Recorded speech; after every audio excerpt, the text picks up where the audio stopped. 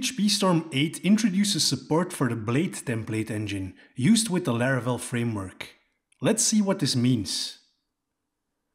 Whenever we open a .blade.php file, PhpStorm will recognize it as a Blade template and provide syntax highlighting, as we can see on screen. All the different constructs are highlighted. We can clearly identify HTML, Blade directives, variables and so on. Code completion is available as well. Let's print the message variable here. Braces are completed and all available variables are shown as well, even in for and for each loops. Directives are completed too, and we can even define custom directives through the settings. For example, let's add a datetime directive which takes one parameter and invokes the format function.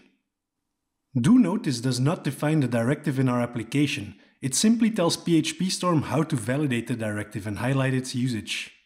After saving, PhpStorm will now provide our custom directive during code completion. The section directive denotes a specific section in a template.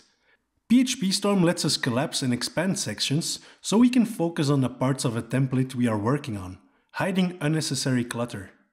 Speaking of sections, if we remove the stop directive here, an inspection will tell us the section is not closed. We can navigate to other templates as well, including the directories they are created in. If we want to navigate to the site templates folder, we can use navigate to on that part of the template name. Same thing for layouts here. See how the project tool window opens the correct directory? Of course, we can also navigate to the template itself. With find usages, we can easily find where a template is used in our project.